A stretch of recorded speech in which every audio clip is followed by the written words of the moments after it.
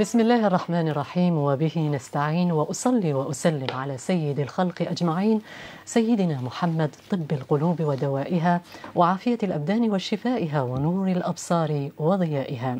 أحييكم مشاهدينا الكرام بتحية الإسلام السلام عليكم ورحمة الله تعالى وبركاته. أهلا ومرحبا بكم مجددا إلى برنامجكم الأسري الاجتماعي التربوي برنامج الفكرة المفقودة الذي يأتيكم من هذه القناة الطيبة المباركة قناة القرآن الكريم. أسعد ايما سعادة أن أكون معكم على مدار ساعة من الزمن آملة من الله عز وجل أن نفيد ونستفيد. موضوعنا مشاهدينا الكرام لازلنا نواصل في سلسلة عملية البناء التربوي لأبنائنا. فبعدما تحدثنا عن البناء التعليمي أو العلمي، اليوم بإذن الله سنتحدث عن التربية العقلية أو البناء العقلي. ينحصر مشاهدينا الكرام ينحصر معنى التربية عند الكثير من الآباء والأمهات في العناية الصحية والغذائية والتعليمية. فما نصيب عقول الأبناء من التربية والعناية والأعمال؟ كيف اهتم الإسلام بالعقل؟ وكيف يتم أعماله بشكل سليم حتى نحقق الهدف المرجو؟ ومن المسؤول عن ذلك؟ ما مصادر البناء العقلي؟ وما هي المعوقات النفسية والاجتماعية؟ ثم ما هي التحديات التي تؤثر على عقول أبنائنا؟ وما هي الوسائل العملية التي تعيننا على عملية البناء العقلي للأبناء؟ وكيف نحافظ على صحة وسلامة العقل العقل عفوا في ظل ما نلاحظه اليوم من انتشار للافات الاجتماعية الخطيرة التي تهدد كيان الأسرة والمجتمع وأيضا العقيدة؟ اذا كل هذه النقاط وأخرى في هذه الأمسية الطيبة المباركة ونحن نعالج موضوعا في غاية الأهمية عن البناء العقلي أو التربية العقلية.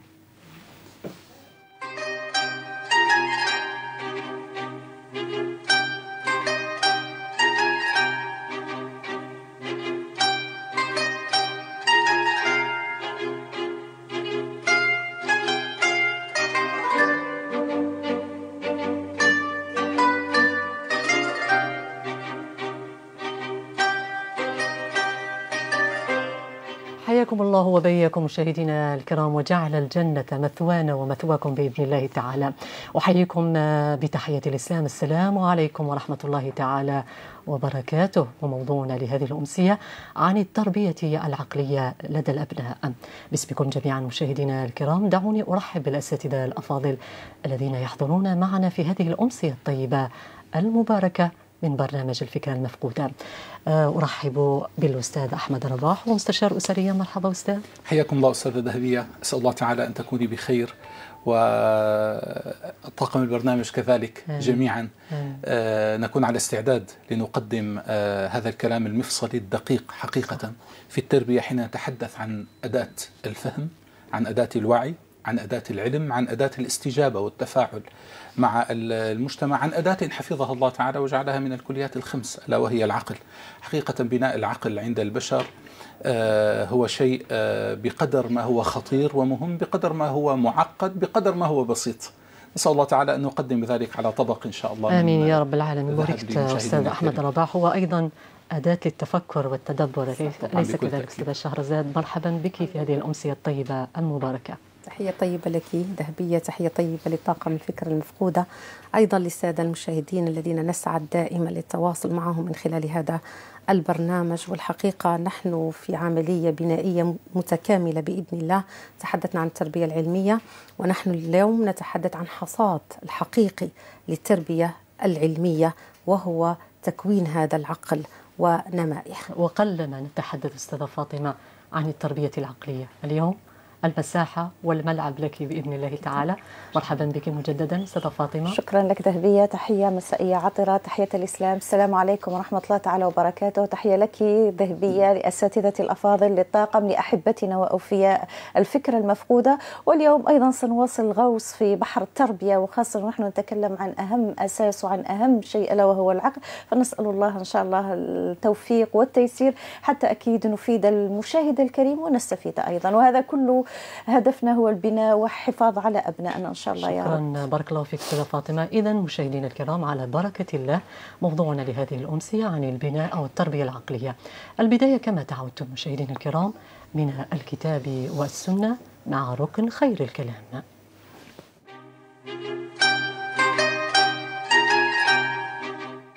كذلك يبين الله لكم آياته لعلكم تعقلون.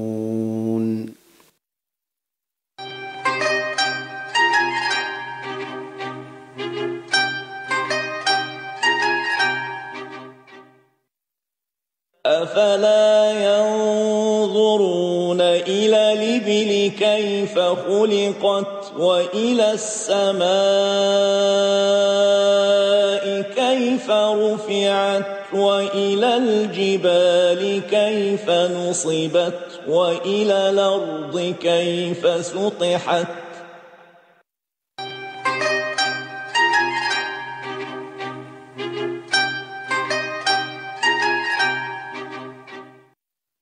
عن أبي مسعود قال كان رسول الله صلى الله عليه وسلم يمسح مناكبنا في الصلاة ويقول استووا ولا تختلفوا فتختلف قلوبكم ليليني منكم أولو الأحلام والنهى ثم الذين يلونهم ثم الذين يلونهم.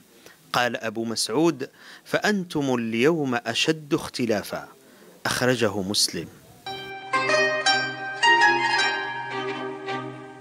إليكم مشاهدينا الكرام أحييكم مجددا بتحية الإسلام. السلام عليكم ورحمة الله تعالى وبركاته. وموضوعنا في هذه الأمسية عن التربية العقلية. البداية معك أستاذة شهرزاد. آه الله سبحانه وتعالى ميز الإنسان عن باقي المخلوقات الأخرى بالعقل. وهذا العقل كما نعلم هو مناط التفكير. وبه نميز حقائق الأمور وأيضا نميز بين الحق والباطل. من على ضوء ما ورد من آيات وأحاديث كيف تطرق الإسلام على ضوء الكتاب والسنة للعقل. طيب بسم الله والحمد لله والصلاة والسلام على رسول الله وعلى آله وأصحابه الطيبين الأخيار. في الحقيقة حديثنا عن العقل من خلال طبعا هذه الآيات هو حديثنا عن وسيلة عظيمة جدا من وسائل الهداية والدلالة على الله تبارك وتعالى ومن هنا يكمن خطورة العقل. لأن الإنسان يدور بين ثلاث أنواع من الهداية الربانية. نعم. الله لم يتركنا هملا والحمد لله. نحن أمام هداية الفطرة صح. التي جئنا بها من عالم الذر من العالم الأول. وأمام هداية القرآن هداية الوحي القرآن والسنة. وعندنا أيضا هداية العقل والتفكير. فهي نوع من الهداية التي ماذا يستطيع الإنسان من خلالها أن يصل إلى الله تبارك وتعالى. والحقيقة موجود اليوم الواقع يؤكد هذا الكلام. انظر إلى العدد الهائل من الداخلين في الإسلام. رأيت من العلماء الغرب يقفون على حقائق الكون. لذلك الله يأمر بالنظر يأمر باستعمال العقل. صح. فألفاظ القرآن الكثيرة جدا حقيقة مساحة واسعة من الدعوة الربانية إلى ضرورة النظر في الكون. استعمال لفظ النظر التدبر التأمل التفكر. نعم. كل هذه الألفاظ تدعونا إلى استعمال العقل للنظر في الكون. فآيات الله في الحقيقة ليست هي آيات الله القرآن فقط هي آيات الله المقروءة لكن الكون يمثل آيات الله المنظورة. صح. وبالتالي النظر في هذا الكون يحقق لنا جانب مهم جدا من الهداية الربانية. وهي عبادة أيضا التدبر والتفكر في الكون. في الكون. وغير ذلك. ذلك الله يقول سنريهم آياتنا في الآفاق وفي أنفسهم حتى يتبين لهم أنه الحق. إذا قهر هذه آيات الله الكونية قهرت علماء الغرب حتى دخلوا إلى الإسلام خاصة وأن آيات الله المنظورة هي تؤكد وتصدق آيات الله المقروءة. إذا لا شك في أن استعمال العقل مهم جدا ولذلك اهتم القرآن به بهذا الشكل. لو نذهب لحديث النبي صلى الله عليه وسلم وهو يتحدث عن مسألة أو حديث أبو مسعود وجاء الحديث أيضا عند عبد الله بن مسعود ولكن برواية أخرى. ولكن نركز على جانب معين جدا ها هنا. على قيمة العلم عفوا قيمة العقل وقيمة تقديم أهل العقل أو أصحاب العقل أو أولو الألباب كما استعمل يعني القرآن ألفاظ آه، كثيرة في هذا المعنى. فالنبي صلى الله عليه وسلم يأمرنا ألا نختلف والاختلاف وحقيقة في طبائع البشر. أيضا جئنا به من عالم الذر وغير ذلك لكن المطلوب منا ألا يكون اختلافنا له أثر على قلوبنا. يكون اختلاف تنوع. أنا عندي فكرة وأنت عندك فكرة. هذه الأفكار الاختلاف الذي فيه رحمة. اختلاف فيه رحمة فيه تنوع. بمعنى عندما تكون الأفكار كثيرة ومتنوعة نصل أفضل إلى السبل آه، لتطوير حياتنا إلى غير ذلك. ليس اختلاف تضاد أنك يا إما أنت معي أو أنت ضدي. أو للانتقاد من أجل الانتقاد فقط. الانتقاد وغيرها. فالنبي يحيلنا إلى هذا المعنى المهم جدا ثم يتحدث بعد ذلك عن عن وضعية معينة في الصلاة من يلي الإمام عموما. ونقول النبي صلى الله عليه وسلم في هذا الحديث ليلن يعني من يصلي خلفي؟ من يكون أقرب مني؟ صلى الله عليه وسلم وردت صفتين في الحديث. قال أولو الأحلام والنهى. الأحلام كما جاء اللفظ أيضا بلغوا يعني الحلم. الحلم هو سن البلوغ. وإن كان بعضهم الآخر قال أولو الأحلام هم أصحاب العقول الرزينة. وإن كان نحن عموما نستعمل الحلم كما نقول هو سن البلوغ. فقال بعد ذلك النهى لذلك النبي أشار إلى النهى. النهى في الحقيقة هي اللب العقل الإرادي هي المركز. العقل وتسمى أيضا الحجرة في يعني كما جاء اللفظ في القرآن وغير ذلك. فقلت إذا النهى سميت نهى وهي العقول وبعضهم يضيف لها مزايا هذه العقول ليس أي عقول. سميت نهى لأنها تنهى العبد عن اقتراف القبائح. فلذلك سميت نهى. والنبي صلى الله عليه وسلم هنا أشار إلى هؤلاء. معناه أن يكون الإنسان القريبين منه في الصلاة من؟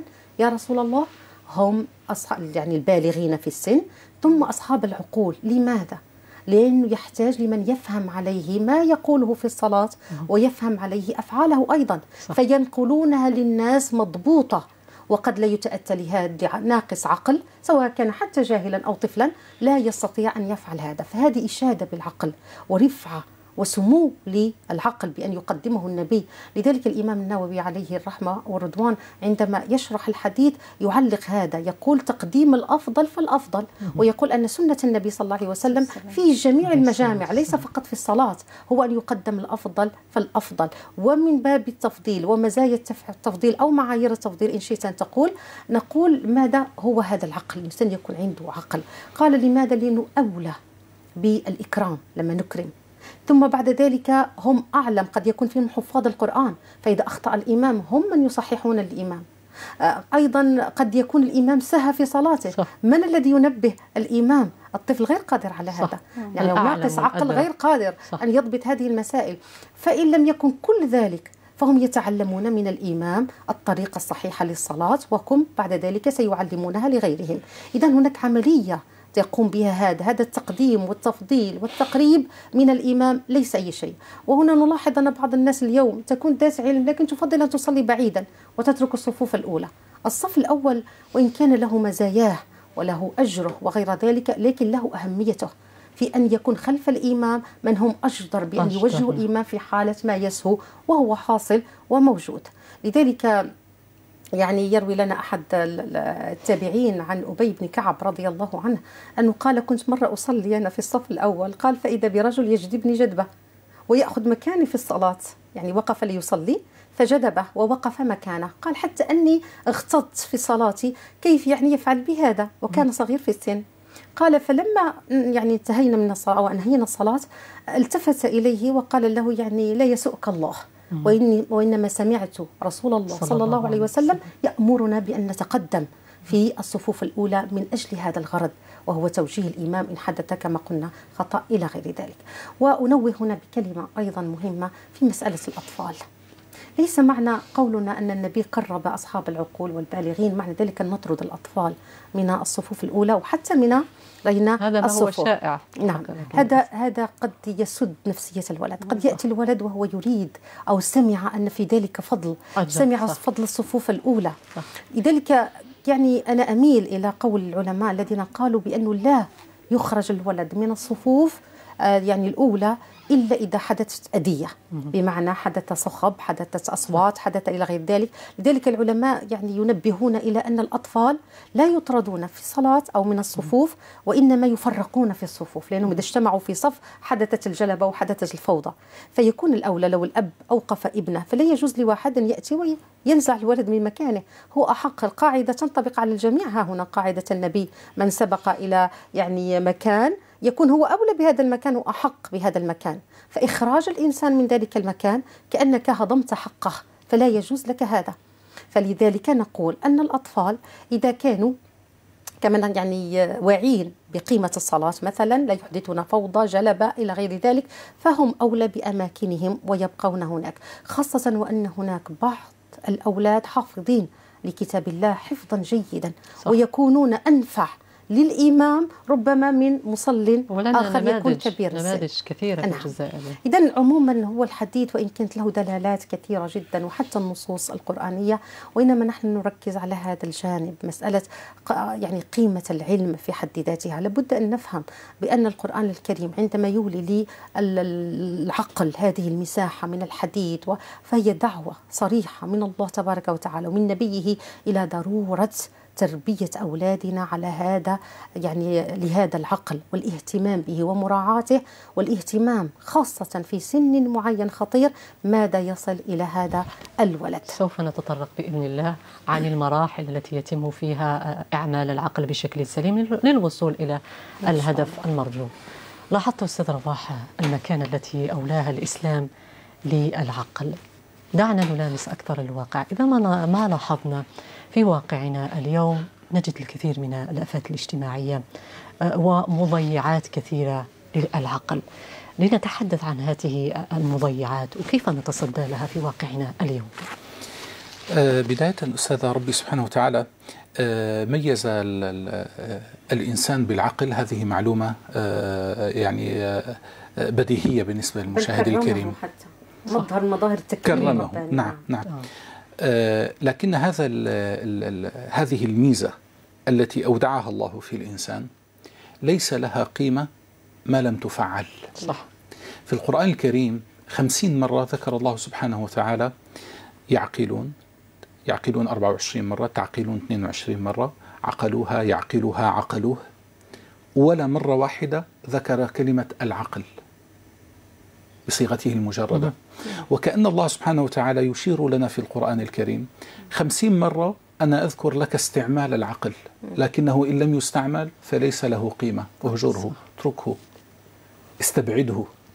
مجرد وجوده دون استعمال دون استفادة تفعيل. دون تطوير دون تفعيل هذا ليس له قيمة على الإطلاق.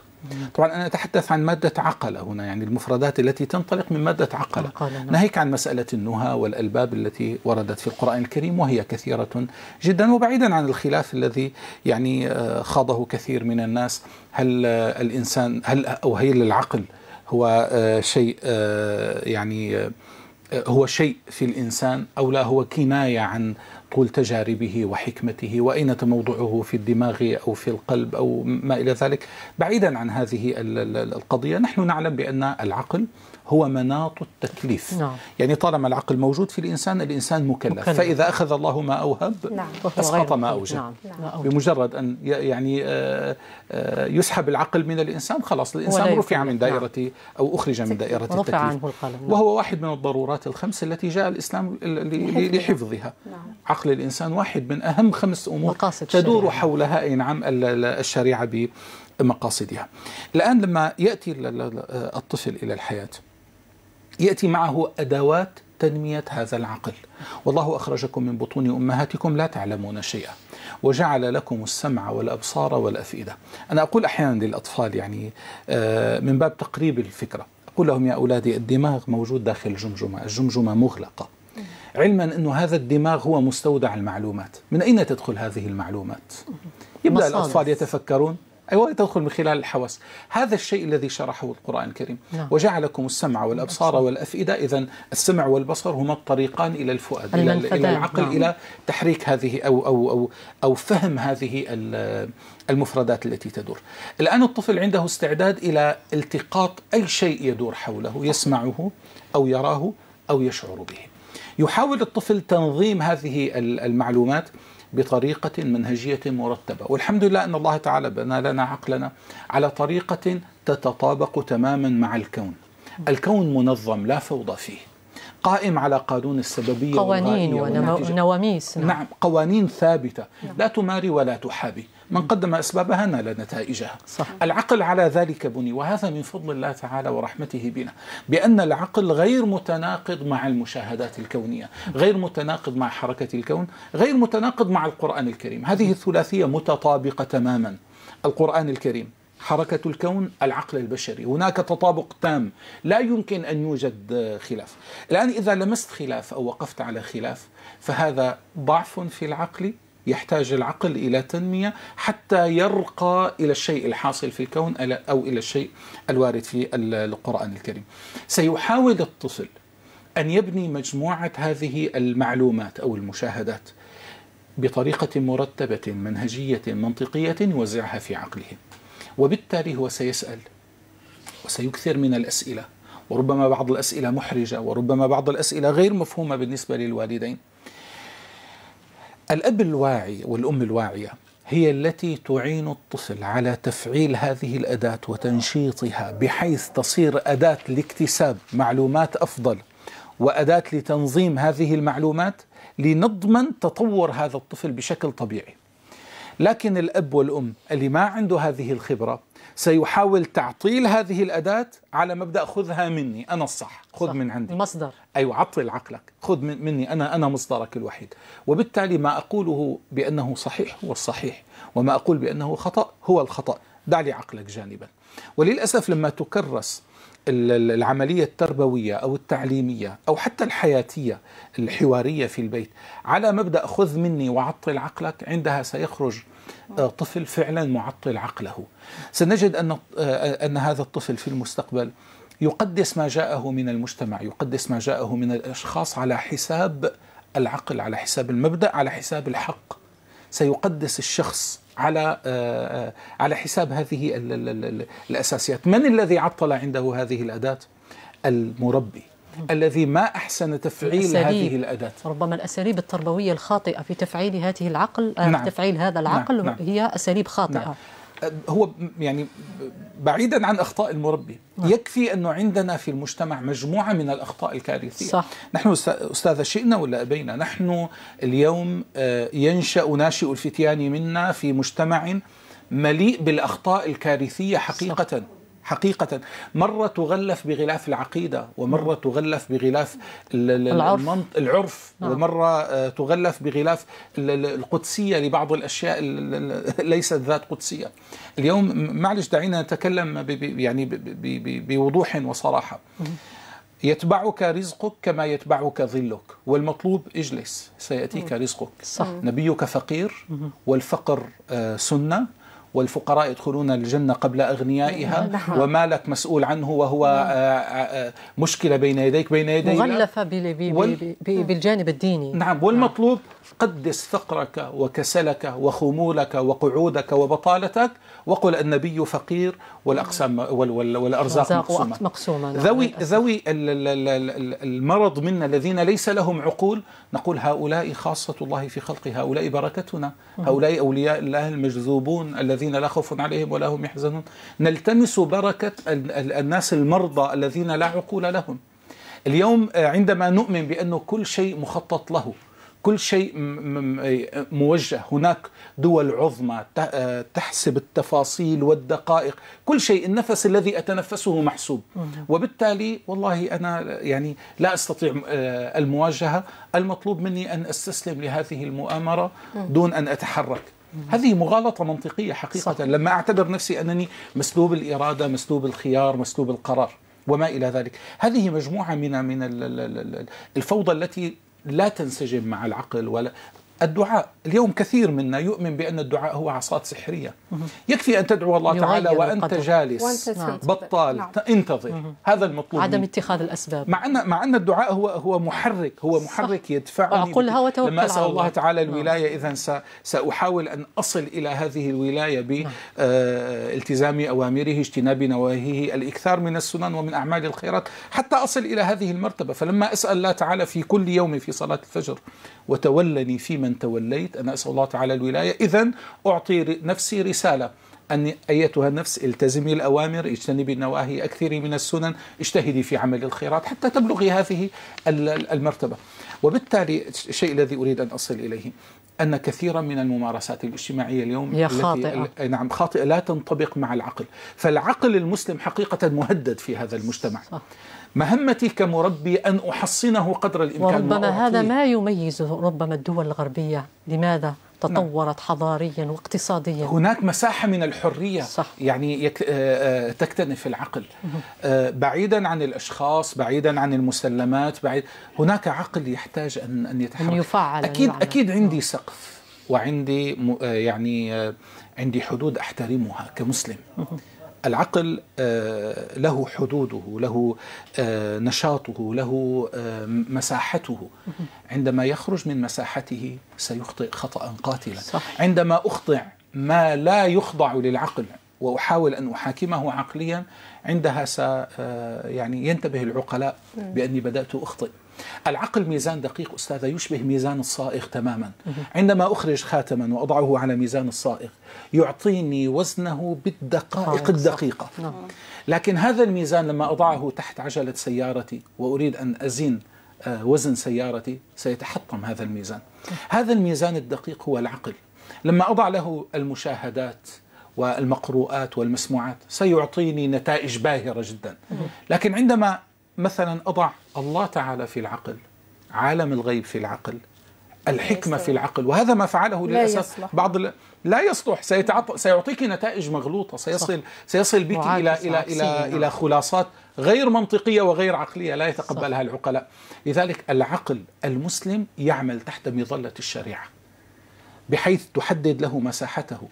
هناك جزء شئنا ولا أبينا هناك جزء مما لا, لا, لا نستطيع الإحاطة به بعقولنا. أمرنا بالتسليم له. صح. أمرنا ب آه، يعني آه، إعطاء هنا إعطاء العقل إلى الحكيم الخبير الذي خلقه حتى يوجهه كما شاء. لذلك الله جعل الإيمان بالغيب هو ماذا أول صفة للمتقين. هذه ليست نعم. سهلة خاصة في زماننا في زماننا فأن يؤمن بالغيبيات نعم. يقول لك كيف؟ والغرب يعني يحتج علينا في مسألة أن نحجر على العقل هكذا. لما لا تتركون له أن لا يصلح هنا لابد أن يمشي العقل بدون وحي أعمى. لا يرى الطريق. ولذلك نعم. لابد من الوحي ها هنا. فنحن نقول العقل في مجال الكون بل يبدع. نعم. لكن لما يتعلق الأمر بالغيبيات فهو التسليم. فأثر عن علمائنا قولهم تقديم النقل على العقل. والنقل هو الوحي القرآن والسنة. نعم. نقدمها. على حين حين تركوا المساحة للعقل دكتورة لاحظي النتائج التي خرجت من عندهم. اليوم لما لما نرى هذا التقاتل لتقنين الشذوذ يا جماعة والله والله العظيم شيء لا يدخل في منطق يعني في ما يدخل في عقل. أين أوصلهم عقلهم؟ إلى تقنين هذه الفاحشة إلى إلى تقديس آه، آه، إزالة العقل عن طريق تناول المسكر باستمرار. آه، ذهب بهم عقلهم إلى إلى إخراج المرأة والطفل عن عن هذه الرعاية الأسرية المقدسة. العقل عندما يعطى المشعل بدل الشريعة بدل الإيمان سيأخذنا في ستين داهية كما يقول اليابان مثلا اليابان الصين. نعم. وصل في التقدم التكنولوجي العجيب جدا لكن ما زالوا يعبدون أصناما. لحد نعم. الآن ما اهتدوا نعم. إلى نعم. الله سبحانه نعم. وتعالى نعم. ذلك نعم. لابد للعقل أن يكون له ميزان يتزن به وهو الوحي ولكتي أستاذ شهرزاد بارك الله فيك أستاذ رباح أثرت الكثير من النقاط والإشكاليات في هذا الموضوع وحتى نقترب أكثر من هذا الموضوع دعونا نشاهد هذا الاستطلاع هل الأولياء يملكون وعي كافي في هذا الجانب التطوير أو البناء العقلي للأبناء مشاهدة الاستطلاع مع الزميلة الصحفية فايزة العارف ولن عودة بعد ذلك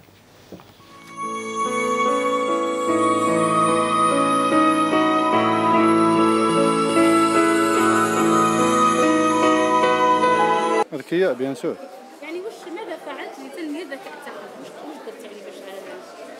يعني بذلت مجهودات كبيرة وسهرت على جالهم. ماشي دا شوفي ذكي بصح كي دخلوا هذو كي دخلوا الهواتف النقالة كي دخل تبدلوا. كي ربيتهم كانت عندهم déjà كان عندهم ذكاء أنا فقت بلي كان عندهم ذكاء من ملي يكونوا صغار. في الصغير كي تربي همه وتعسو محسوب تتهلا فيه تو déjà الحاجة الأولى. ملي يكونوا صغار آه، نعاملهم كشغل إنسان adulte آه، كبير. نهضر معاهم نقصر معاهم نحكي لهم حاجة كيشوفوها ما يفهموهاش يسألوها نجاوبوا ما نقولش بلي صغير ما يعرفش. ما نقولهاش هذه صغير ما يفهمش. non au contraire نهضر معاه كي شغل طفل كبير. même كي يكون bébé. نهضر معاك شغل هو هذاك avec le temps شغل ينمي هذاك آه، الأفكار ديالو ينمي تولي تهضري معاه كي شغل واحد كبير تهضريش معاه شغل واحد صغير. حاجة ثانية الطفل كي يسأل ولا حب يفهم حاجة ما نقولش روح روح خليني au contraire لازم نفهمه. هذيك الحاجة لازم ننتبه إلى الأشياء التي يهتم بها. اشياء c'est très important الشيء اللي انت تهتم به أنا زيد ننميه عليها. وري لوليدك توجهيه. normalement نمشوا على دين الإسلام مش يهدر دين الإسلام نمشوا عليه. إحنا normalement هكايا. وما تقدريش تهربي من هذه المواقع التواصل الاجتماعي parce que رانا رانا فيها. كما وسائل التواصل الاجتماعي ما لازم تكون على الذراري الصغار. مثلا أنا sujet حبيت نطلعه نطلعه انايا وحدي ونكتبه له في ورقة ونقدمه له هو يفتحه ما لازمش نعطيه تليفون خاطش يهرب هو أوتوماتيك مو يهرب الحوايج واحد آخرين و... لازم المراقبة خاصة الإنترنت خاصة الأولاد في الشارع ما على باليش أنا بني مع منا ويلعب مع من كل واحد كيفاش لازم المتابعة لازم المتابعة من الأول بعد. الراجل لازم يعيش مع وليده. لازم كل وقت يكون معاه. لازم يوعيه لازم يتبعوه في قرايته يتبعوه في الشارع وراه يروح مع من راه يدور فهمتي؟ ما لازمش الطفل يدخل مباشرة من المدرسة. يقيس كارطابه ويخرج. كما رانا نشوفوا في بعض العائلات ما على بالوش كاع بولادو وين راهم. حتى الليل باش يتلموا. لازم الوالدين بعد يهتموا ب بولادهم داخل المنزل وخارج المنزل. لازم تكون عندهم علاقة مع الأستاذة بعد باش يسقسوا على مستوى أولادهم. لازم يكون آه، تنسيق. إليكم مشاهدينا الكرام ونحن نتحدث في موضوع في غاية الأهمية عن التربية العقلية والبناء العقلي. أستاذة فاطمة تحدثنا من رؤية شرعية ومن رؤية اجتماعية عن أهمية هذا العقل.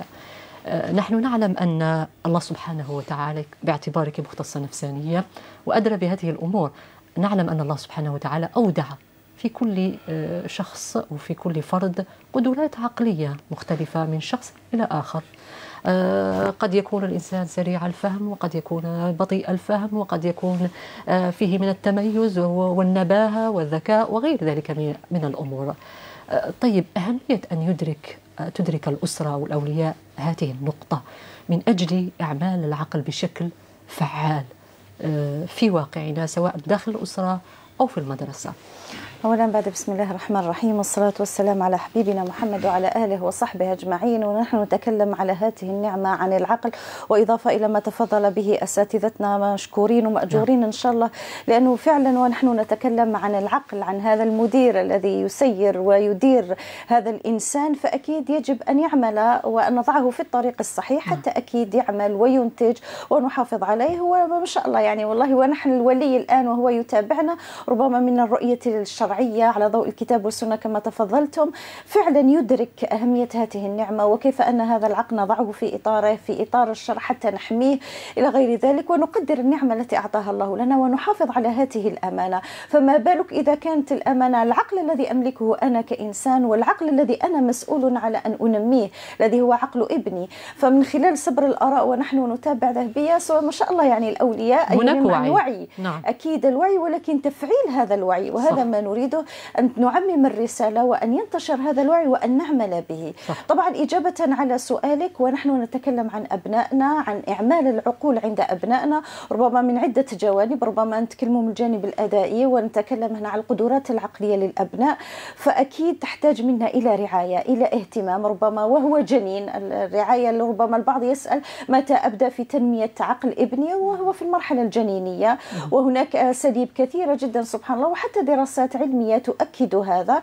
أكيد المرحلة الجنينية من صحة المرأة الحامل من تغذيتها من سلامتها من الأمراض إلى غير ذلك لأن كل هذا يؤدي إلى إصابة وخلل في الدماغ فأكيد ستتأثر العمليات المعرفية والعمليات العقلية. ونشوف كثير من الأمراض ربما نتابعوا على الصحة النفسية والعقلية كثير من الأمراض. سبحان الله ربما حمى عند المرأة الحامل ربما ميكروب ربما كذا. ينتج ربما البعض يقول لك ما وليدي ما على باليش علاش؟ ربما عنده ضعف قدرات لكن راجع لمرحلة الحمل صح. أيضا من خلال المرحلة الأبن راه رضيع في سنواته الأولى. الرعاية التي تعطيها الأم أو يعطيها الوالدين لأنه حتى الولي الأب مسؤول أيضا تلك الرعاية الوالدية ورعاية الأم لابنها أيضا تؤثر على نموه العقلي ذهبية كثير من الاضطرابات العقلية نتاج لكيف تعامل هذه الأم ابنها. صح. ربما نتكلموا على الصحة الجانب الصحي والعضوي واهتمام بالطفل هذا نعسوله مثلا. أبسط شيء ربما ارتفاع الحمى راح يؤدي إلى الدماغ وهذا ماذا؟ سيعطل أشياء وعمليات كثيرة لما نشوفوا أبناء ما فيقوش حتى يكونوا في المدرسة يعني صح. في التحصيل الدراسي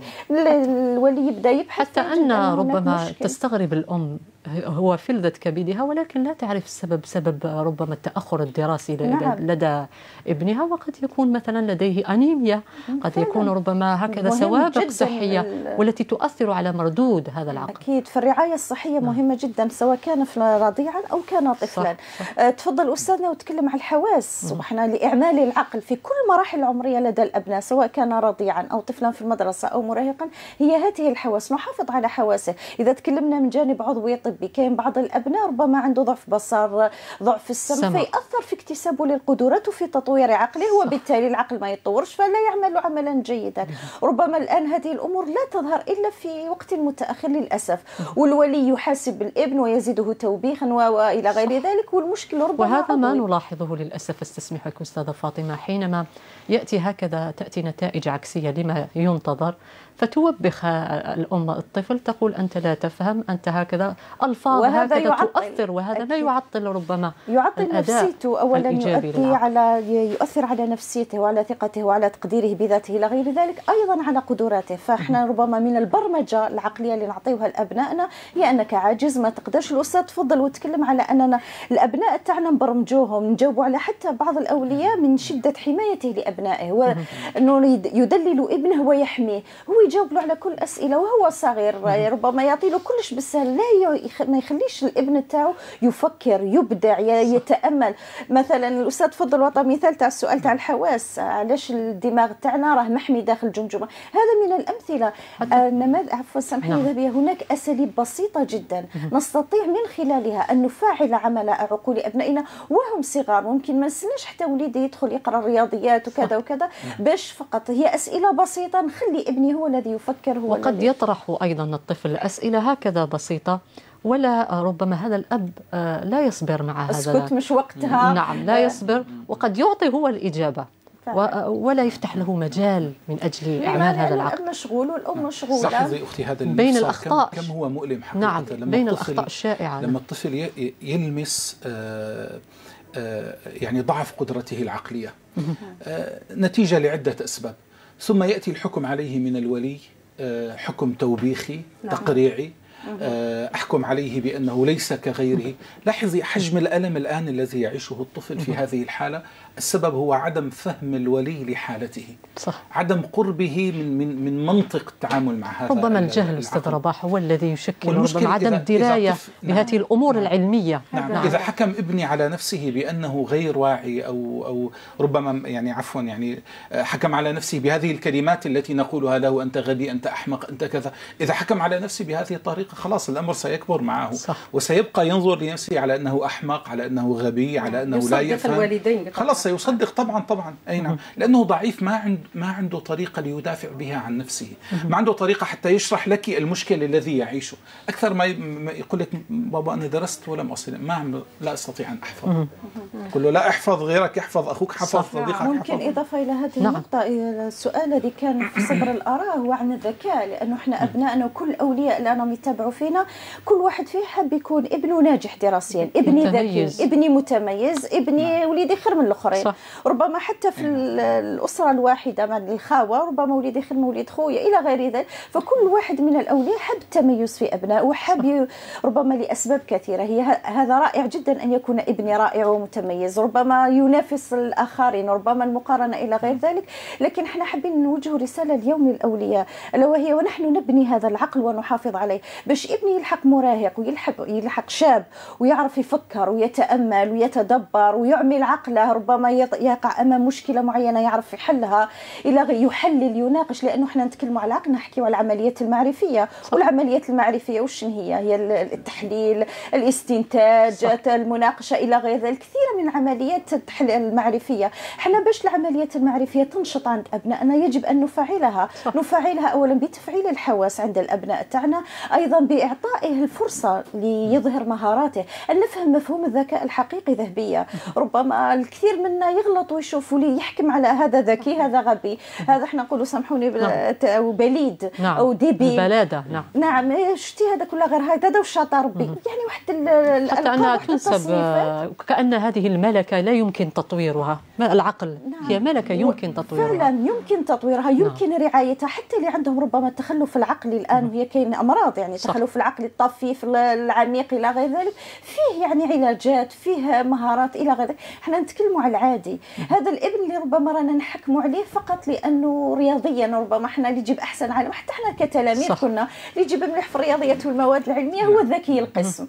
ومشات هذه الفكرة يعني إلى وحتى هذا مش فقط على مستوى التلاميذ. العالم العالم تجاوزها أستاذة من نقيم على أساس نعم. النقطة نعم. وأثبتوا الذكاءات نعم. المتعدده نعم. إحنا ما زلنا متمسكين بتقسيم العالم. ومهم جدا انه نعرف مفهوم الذكاءات المتعددة نعم. لأنه هذه الذكاءات المتعددة راجعة إلى العقل وهذا العقل نعم. يعمل في عدة جوانب. الذكاء المنطقي الذكاء البصري.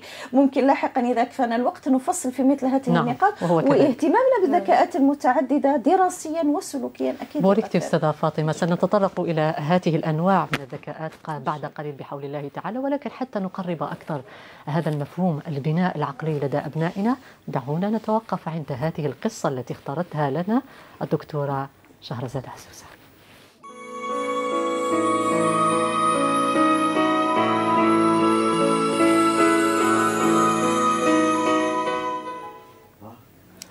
تروي لي إحدى قريباتي وهي مديرة روضة في فرنسا عن قدرات الأولاد في مسألة الاستيعاب فهي تسمع منهم في بعض الأحيان ردودا غريبة جدا وهذه الردود تقول لي أنا لا أستطيع أن أرد مثلها. عادتها في روضتها كل سنة أنها في بداية السنة تجلس مع جميع الأطفال خاصة من أربعة إلى خمس سنوات. تجلس جلس جلسة على الأرض قبل أن تقسمهم إلى أفواج وتعطيهم للمربيات ثم تجلسهم قلنا في حلقة مستديرة. قالت لي مرة قدمت نفسي بطريقة معينة حتى يقدموا أنفسهم. قالت اسمي فلانة وكذا وكذا وأنا مسلمة أؤمن بالله. استعملت أؤمن بالله قالت لأن هناك أسر كثيرة خرجت للإلحاد. فتحب أن تعرف رينا من يعني من الأولاد عندها هو ملحدا. قالت فقدمت نفسي بهذه الطريقة وبدأ الأطفال يقدمون أنفسهم بنفس الطريقة. أنا مثلا كذا اسمي كذا وأنا مسيحية أؤمن بالله. أنا يهودية أؤمن بالله. أنا مسلمة أؤمن بالله. ثم قالت حتى سمعنا واحدة قالت أنا اسمي كذا وكذا. وقالت باللفظ إيجي كخوا أغيان بمعنى أؤمن بلا شيء. قالت فنظرت للأطفال ينظرون إلى بعضهم البعض وانتظرت فردت واحدة عمرها أربع سنوات. قالت لها باللفظ سي تكخوا أغيان توني إذا كنت تؤمنين بلا شيء أنت لا, لا شيء, شيء.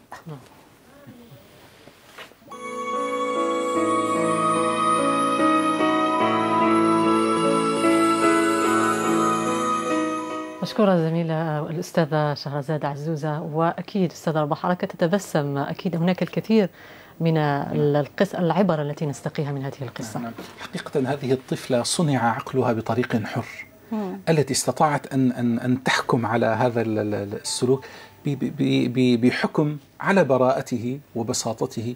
هو منتهى أبحاث ودراسات. حتى الاستاذه كانت ذكية في طريقة معرفتها ل نعم حتى ذكاء ذكاء المعلمة كان كبير. رأيت الطفل يعني لما لما نربيه تربية عقلية حرة سيعطيك بنتائج يعني لا تخطر لك مبهرة نعم. حقيقة. إي نعم. شكرا بارك الله فيك أستاذ رباح. نعود أستاذة فاطمة إلى ما نراه في الآونة الأخيرة في عبر وسائط التواصل الاجتماعي هناك منصات رقمية تحث ربما على أهمية إنعاش هذا العقل. تحدثت عن أنواع الذكاءات سنفصل في هذه الذكاءات المتعددة. ما أهمية وما مدى نجاعة هذه المنصات الرقمية التي تقول بأنها تساهم بشكل كبير في إنعاش العقل؟ وهذا ما نراه مؤخرا في وسائط التواصل الاجتماعي. باعتبارك مختصة نفسيه أكيد نفسية إحنا لما نتكلموا فقط على التكنولوجيا قبل نعم. المنصات الرقميه وغيرها نتكلموا على التكنولوجيا بما فيها المنصات ومواقع التواصل وغيرها التكنولوجيا فيها وعليها نعم. ففيها الجانب الإيجابي وفيها الجانب السلبي وهنا نحكم العقل ربما ككبار كأولياء كأساتذة حتى إحنا ربما فنعرف نغربل ما نأخذ ممكن حاجة اللي تخدمني وتطورني أنا والشيء الذي أكيد سوف يعيقني ويقلل من مهارة ويجعلني نغرق فيها وأنا لا لا أتطور ولا تسمي تسمن ولا تغني من جوع فهنا أتخلص منها. فما بالك في تربية الأبناء أيضا؟ حتى ربما هناك كثير من المواقع وكثير من الأخوة تدعو إلى كيف نربي أبناءنا إلى غير ذلك. المشكل ذهبية هي كيف نفعل ما نتعلم. صحيح. ربما كان أتعلم في المنصات الرقمية أو أتعلم من كتاب أو من كذا أو أني نشاهد اليوم الحصة. إحنا هدفنا من المشاهد الكريم ومن الولي الكريم أبا أو أما أنه مش فقط يسمع ويقول لي عندكم الحق إلى غير ذلك. مهمتنا التفعيل حتى هدفنا ربما البنائي هو إعمال هذا العقل. صح. فنفعل فاعل هذا هو المشكل الآن. ربما إذا كنت أنا آخذ وآخذ وآخذ وخلاص آه، كما نقولوا إحنا بلوكاج. دون غربلة ولا تمحيص دون غربلة ويجيني كل شيء على الجاهز ثم لا افعله والبعض يقول لك والله راني نفعل وراني نقوم بكذا وكذا ولكن ما فيش نتيجة. هي تحتاج إلى صبر تحتاج إلى عمل إلى مثابرة إلى ربما أني نجرب ثم أقيم هذا يصلح أم لا يصلح. ربما أشياء أستفيد منها إلى غير ذلك. فالتكنولوجيا على ما فيها بكل يعني وسائلها فيها الجانب الإيجابي وفيها الجانب السلبي. هنا يرجع إلى الإنسان كيف يفعلها وكيف يعمل بها هذه النقطة الأولى. ربما النقطة الثانية وتكلمنا عليها اللي هي الأساليبنا في تربية أبنائنا التي هي تدمر هذا العقل. وهي أساليب تقليدية غالبا أستاذة. هي أساليب ربما تقليدية أو نقولوا تقليديه أو العجز بعض الأولياء ربما يستسلم حتى حتى من يهتم بهذه التربية المصدر غير أمين. نعم رايتي كيف؟ هذه هذه أيضا مشكلة. والرسائل الضمنية التي ربما حتى هناك بعض القصص أو بعض ما نقدمه لأبنائنا وهناك مضامين يحمل في في طياته الكثير من ربما حتى الرسوم المتحركة الآن اللي راهم يشوفوها أبنائنا أكيد يبعث رسائل. جدا جدا أنا الأب يخلي الطابلات أو يخليها أمام شاشة التلفاز والابن راه يمتص. يستقبل كل شيء يستقبل نعم. ويستقبل. ثم الآن بعد نشوف أفكار غريبة عند أبنائنا أفكار معطلة. حتى بعض الألعاب ربما إحنا وإحنا نتكلموا على تفعيل وإعمال العقل هناك أساليب كثيرة ومتعددة. نعم. ربما نحكي السلبي والإيجابي في نفس الوقت. إنه هناك أشياء كيفاش نفعل ابني؟ ربما خليه يشوف حتى هو يشاهد. نقعد معاه. واش رأيك؟ نعم. وعلاش دار هكذا؟ وأنت في رأيك كذا؟ إحنا ما نقولوش ثقافة المنع نمنع له كلش وأنت واش تشوف؟ فيه الانتقال من المنع إلى المناعة. نعم. إلى المناعه وفي كل شيء حتى في الطريق. نعم فقط شيء أنا ربما أقوله ما دمت يعني اثرتي هذا الموضوع. هي ما نحن جنينا سابقا على أولادنا. اليوم نوجه هذه النصيحة لمن قبلنا. صح. نحن كنا ننتقي الرسوم المتحركة مثلا بعض البرامج لأولادنا. مم. ونقول بأنها تربي ربما أخلاق. مع تلك الأخلاق كانت هناك رسائل ضمنية تاخذ لأولادنا من الجناية. على الأولاد أن نعطي عقولهم هذه التي تحتاج إلى تمحيص ما يصل إليها منا نحن صح. ليس من غيرنا نعطيها لهؤلاء فلذلك نقول دائما تدخل في تربية أولادنا غيرنا والواضح أنه أقوى منا أقوى. في الإقناع صح. صح. فلذلك واليوم زادت زادت نعم. هذه المساحة نعم. المشكلة نعم. المفروض أننا ماذا مؤتمنون على هذا الولد جملة وتفصيلا ومن أهم ما نحن مؤتمنون عليه هو العقل هذا ماذا يوضع فيه؟ خاصة إذا تحدثنا عن الفترة الزمنية هذه السبع سنوات فيدخل فيها كل مرحلة عمرية تختلف أستاذة من الخصائص. نعم, نعم. والأقوى يعني الأخطر هي هذه المرحلة ويشترك فيها الأبوين والمعلمين أيضا الذين يدركون الأطفال ست سنة وخمسة ستة سبع سنوات.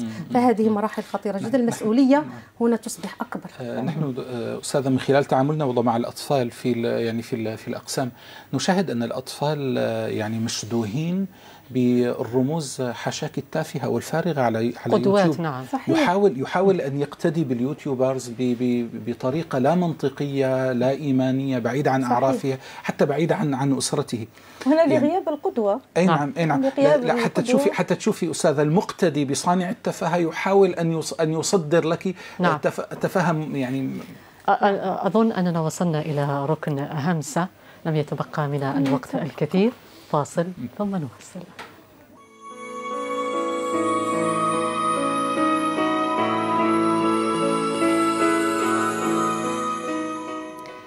العقل ميزة ابن آدم وخاصية وكرامة له. واحد من الكليات الخمس وهو مناط التكليف.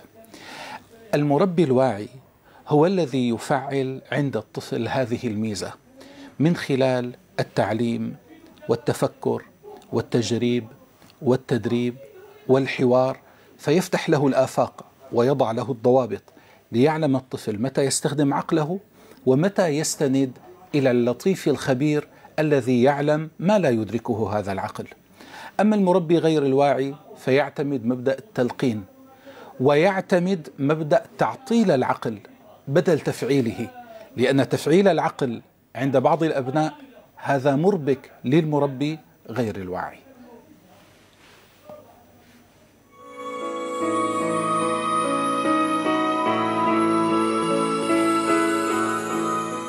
مشكور أستاذ رباح على كل ما تفضلت به من همسات ورسائل هكذا.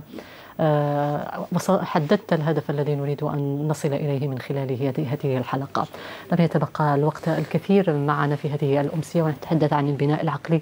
ربما ما هي الرسائل التي نوجهها للأسرة أستاذة شهرزاد في هذه العملية؟ عملية العقل باعتبار الأسرة هي النواة الأساسية وفي إيصال وإعمال هذه العقل بالدرجة الأولى. طيب. ربما الاعتناء بالأولاد في مرحلة معينة آه، دائما أقول الوقت عامل مهم جدا. أن ما تعطيه الآن لا تستطيع أن تعطيه فيما بعد لأنه لابد أن يعطى الآن ليس فيما بعد. لما تنشغل الأمهات بكثير من التفاهات كما نرى واعتذر على اللفظ ربما يعني جارح ربما وشيء من هذا القبيل لكن هو حقيقة يعني الاهتمام الزائد في اليوتيوب بكثير من المسائل لا يحتاجها الإنسان في حياته ونغفل عن هذا الجيل المهم جدا إلى ماذا سنمضي بعدك نحن مسؤولون يوم القيامة أمام الله عن هؤلاء الأولاد سيسألك عن كل شيء عن الوقت الضائع فلا بد أن ننتبه بذلك. ربما فقط أشرت قبل قليل إلى مسألة الذكاء الأولاد وغير ذلك وذكرنا لابد أن نفهم أن مسألة الذكاء لا علاقة لها لا بحجم المخ ولا علاقة لها بكثافة الخلايا المخية له علاقة بالعلم والمعرفة. ولذلك سبقنا نحن بالتربية العلمية.